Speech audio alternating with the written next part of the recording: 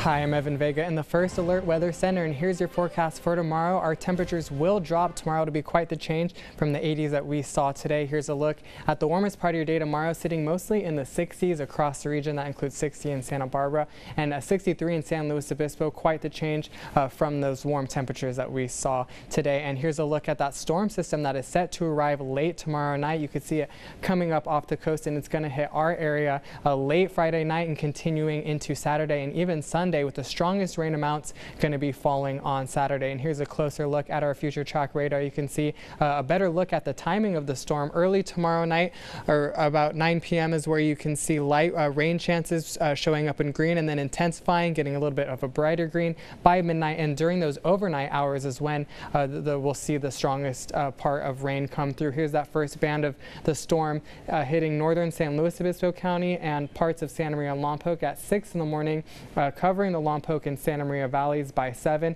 hitting the San Ynez Valley by 8.30 in the morning, not getting to Santa Barbara until 10 in the morning, but bringing some uh, snow into our mountains and uh, Santa Barbara County mountains, and then not arriving until Ventura County until 12 p.m.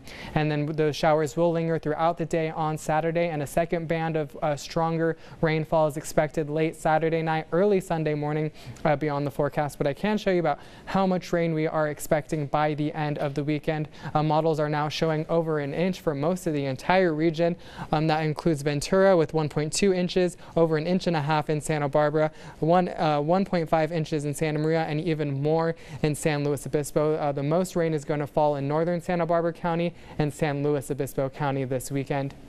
And here's a look at your future track winds for tomorrow. It's going to be a pretty breezy day tomorrow afternoon, and those winds are going to pick up throughout the weekend in, in uh, combination with that rain that we are going to say, see on uh, Saturday. But here's a look at temperatures for tomorrow. We're going to be staying cool, uh, 68 in Montecito and in northern Santa Barbara County. We're also going to be staying in that 60 degree range, not reaching the 70s at all tomorrow. And in San Luis Obispo County, you're going to be at about 66. Ventura County, you're also going to be staying cool tomorrow in the 60s as well. Have a great day.